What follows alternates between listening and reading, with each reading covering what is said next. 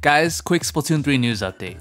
Mahi Mahi Resort has been announced to finally be getting a map rework. It will be out of rotation starting October 15th at 8 p.m. Eastern Time, and the new reworked version will enter rotation starting on October 17th at 10 p.m. Eastern. Note that the mid-season balance patch is also very likely to drop on the evening of the 17th. This is big news because map reworks are something that this game has desperately needed.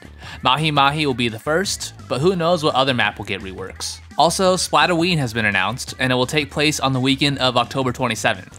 The theme is which would be the best friend? Zombie, skeleton, or ghost? All the idols will have special costumes, and there's even some exclusive gear that we'll be able to get from the Splatoon 3 news channel.